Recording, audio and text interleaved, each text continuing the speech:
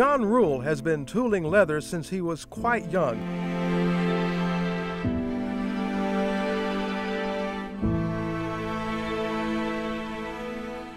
Now it's been close to 50 years.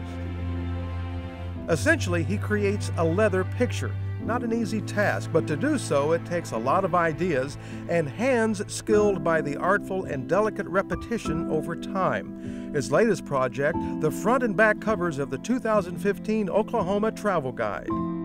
And essentially, I approach that like I, I would a, a, canvas. I mean, it's it's there, and you try to get all the components and all the elements that you want in there, and try not to have it too busy, but try to have it where it reads and it's uh, easy to follow, and, and you see what's going on.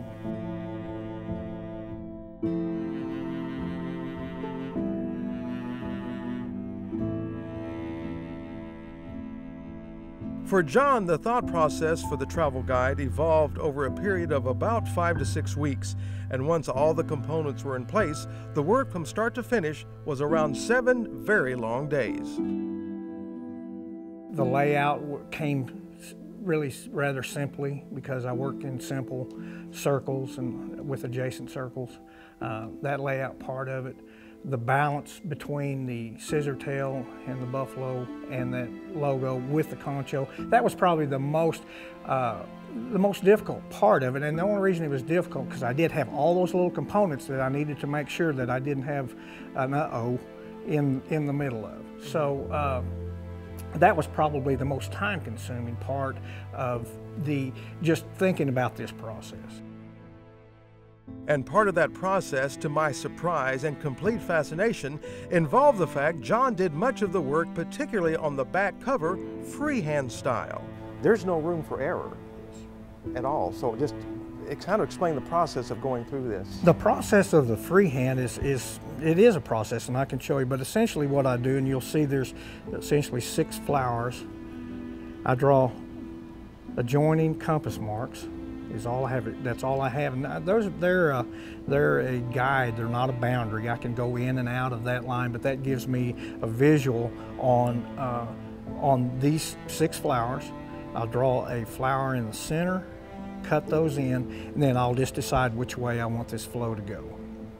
I have in my mind which way I'm going to go, but I, other than the compass marks, there's not a, there's not a line that that that uh, points me in the right direction.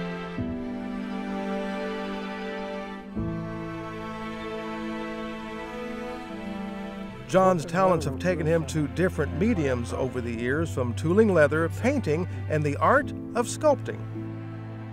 I enjoy sculpture, and, and what I'm doing in leather, I'm actually sculpting the leather. Even when I'm just working on a flat plane, although this doesn't feel flat, it's a fairly flat plane, uh, between the negative space, the background, and uh, what I lift and what I pound down uh, in the leather, uh, I'm essentially sculpting that flower.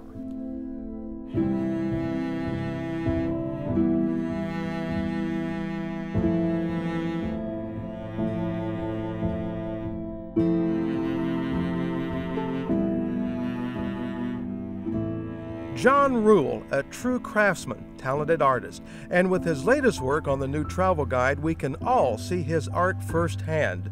And with all art, part of the joy is you never know where it would lead you.